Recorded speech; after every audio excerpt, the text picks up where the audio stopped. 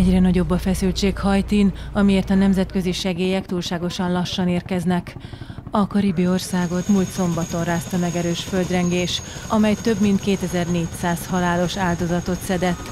30 ezer család maradt hajlék nélkül, ideiglenes menedékhely alig van, a helyzetet ráadásul egy trópusi vihar még tovább nehezítette. A sérültek száma meghaladja a 21 ezret. Az Egyesült Államok repülőgépeket küldött, hogy segítsen a kórházba szállításuknál. A gyógyítás sem megy azonban simán, az orvosok félnek az országban garázdálkodó bűnbandáktól. Egy kórházat be is zártak a fővárosban, Port-au-Prince-ben, miután két orvost elraboltak. Néhány déli tartományban az elkeseredett falusiak eltorlaszolták az utakat, hogy megakadályozzák a segélyek áthaladását, mondván, hogy nekik is segítségre van szükségük.